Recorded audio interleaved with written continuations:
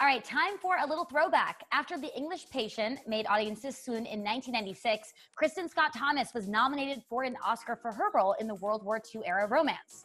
But before that, she's the first to admit that she wasn't exactly on the fast track to fame. She tells us in this week's issue of People that she, quote, sort of puttered around. But she adds, there are some things you feel that you absolutely have to do, and they somehow alter the course of your life.